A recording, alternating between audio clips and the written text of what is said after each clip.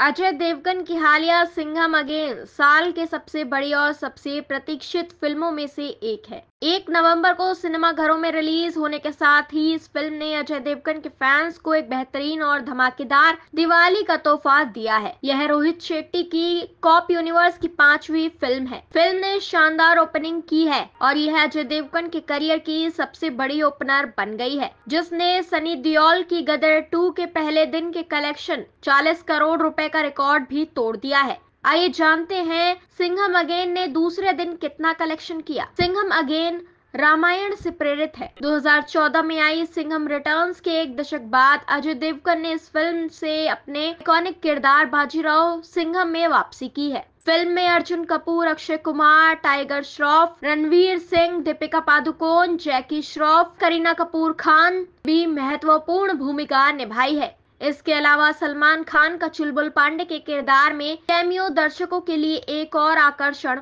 बना। पहले दिन फ़िल्म को दर्शकों से शानदार रिस्पांस मिला। दिलचस्प बात यह है कि इस कॉप एक्शन फ़िल्म की रिलीज़ के पहले दिन कार्तिक आर्यन की भूल भुलैया तीन से मुकाबला हुआ, लेकिन अजय देवगन बॉक्स ऑफ़िस पर सिंघम साबित हुए और फ़िल्म ने तैतालीस दशमलव पाँच शून्य करोड़ रुपए की शानदार कमाई के साथ शुरुआत की। फ़िल्म के दूसरे दिन के कलेक्शन के शुरुआती आंकड़े भी सामने आ गए हैं। एक रिपोर्ट के अनुसार सिंघम अगेन ने रिलीज़ के दूसरे दिन रात नौ बजकर चालीस मिनट तक सैतीस दशमलव सात करोड़ रुपए का कलेक्शन किया। हालाँकि ये आंकड़े प्रारंभिक हैं और फाइनल डेटा भी आना बाकी है। इसके साथ ही सिंघम अगेन की दो दिनों की कुल कमाई अब तक इक्यासी दशमलव दो करोड़ रुपए हो गई है। सिंघम अगेन ने बॉक्स ऑफ़िस पर धूम मचा दी है। तैतालीस दशमलव पाँच शून्य करोड़ रुपए की बेहतरीन ओपनिंग के बाद फ़िल्म दूसरे दिन भी टिकट खिड़की पर शानदार प्रदर्शन कर रही है। उम्मीद की जा रही है यह दूसरे दिन